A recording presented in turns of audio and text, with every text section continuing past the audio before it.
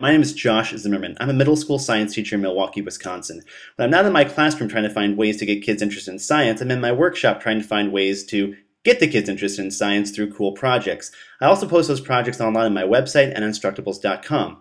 One of the best projects we came up with was a solar USB charger, so I can teach the kids about science, engineering, and something that's very practical and useful that they can make themselves. Something that's also quite cheap to make, and that they can take home with them. I posted these online Instructables to great reviews and great responses. I like to take it one step further. I like to make my project accessible for the world over. I want to take it and make it a lot cheaper, but I need your help to do that. By being able to buy parts in bulk, I can get the price down insanely much, so I can send them around the world to places where there's not a lot of electricity and power. It's a proven design, it works well, I know it sells well, and it was a great educational tool and easy enough for anyone to make, even with a small amount of soldering and engineering skills. With your help, I can turn this project into something a lot larger than just uh, regional and in the US, but also to a worldwide thing to help people everywhere. Thank you.